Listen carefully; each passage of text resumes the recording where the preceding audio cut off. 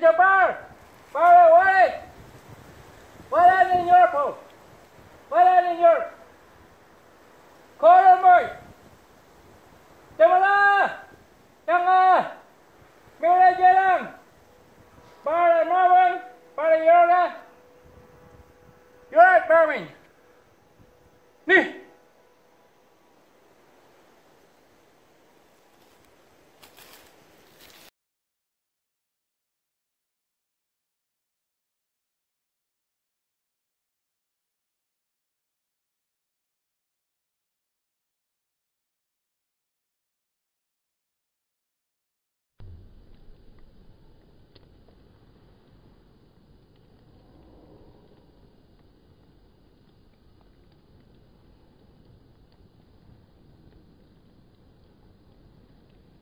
done and to protect this.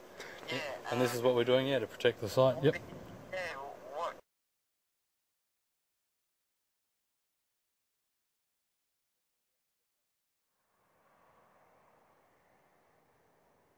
Does that and eats that food source. So you've got the branches for the mia for the house, the yarn, this is the meringue, the food for the yarn, the ringtail possum. Then you've also got the medicine part of it, so to chew it down the leaf and bite it down and chew it and extract out the peppermint and the oils for when you wanted to put onto your mozzie bites and blowflies and march march um, bull ant bites, march flies, all that. You got it as a breath freshener to breathe in, use it as a breath freshener. You can drop it in. We showed the Bustle family how to use this, and they actually drop it into tea, steep it into water, and make peppermint tea from it.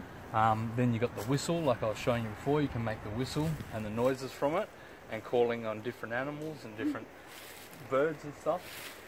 And then when you get the thinner areas like this, that's when you can turn around and, and it's stripped back and made into like a rope that you can use for like binding your Mia Mia or your house, your Maya, your house up.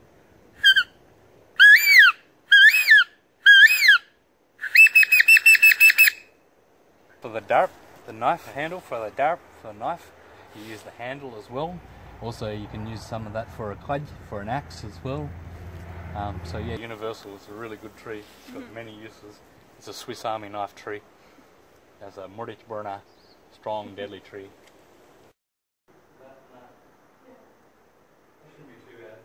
Of this um, belladonna, deadly nightshade. They pull like dig up, so they'll actually come up, come up.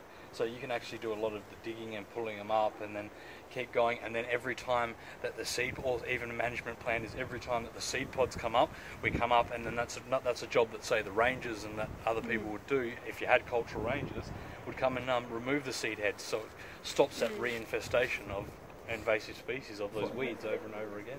Yeah, yeah, it looks like the chalk pen. And then you got that little little bit up here too, but that'd be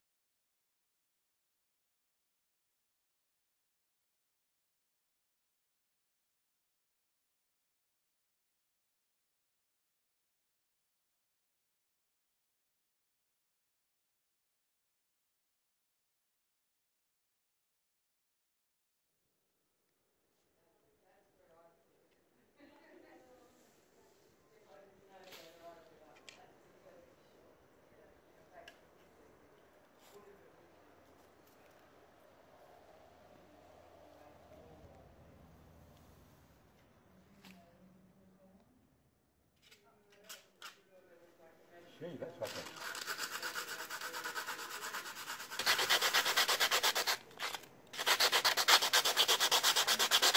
Thanks, Desmond.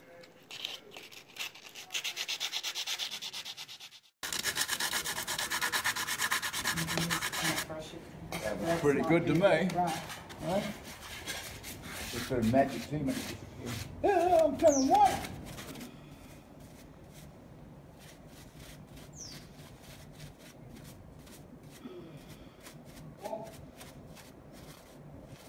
If it's there. Should be there somewhere.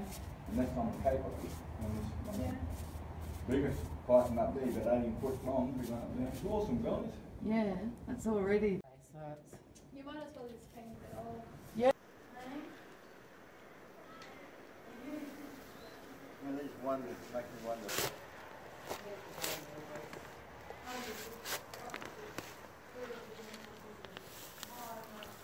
It was fun down there. Beehive or wasps or something, that'll keep people to attack.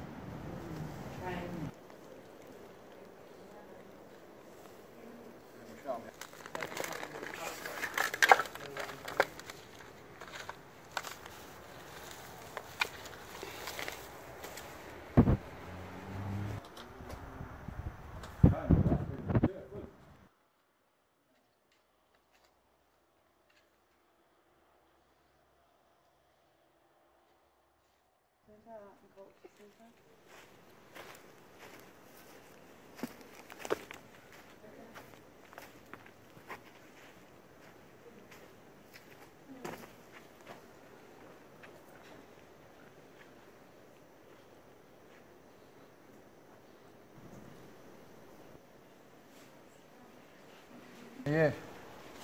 Got all the arum lilies out of this area. And later on, back towards the front, Deepaw can poison all the rest of them off there. As long as you get the poisons without front of the cage.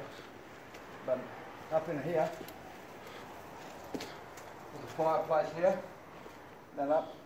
And our, our worry about having a fireplace here is if a spark gets out and goes, the people won't get out of here in time because the what's done oxygen will get sucked out of here if a fire takes off. People from Narrabut wouldn't get away, and then it would run back up over the hills here along the ridge and burn all the houses and everything back there. So you're going to, you know, you're going to have another catastrophe if people keep coming here and making fires like this. Here was the graffiti, the blue graffiti the writing all over it. And down here was where they scratched their names in and stuff like that. But all the candle wax is all over here. And all around the place is candle wax for people having candle wax. They built all this area up so we yeah, try and protect the place and look after it. Because when people come up here messing around, they forget. You have a look around here, there's all these little marsupial tracks, racehorse goanna tracks, and carpet snakes, and, and then you got all the little birds and bats that live up in the holes up here, those swallows and the bats. You know, smoke gets up there, you know, dries them out, so it's just choking the animals, frightening all the little animals away and stuff like that, you know. So, but yeah, so we're onto it now and we'll keep trying to look after it as much as we can, but me and Tony are getting a bit old for this now. Young ones should be taking over and doing this. Yeah.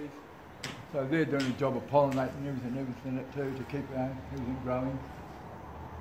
And like I said before, the little swallows are everywhere here trying to live. So as long as you respect the place coming into the day, don't go making fires and stuff.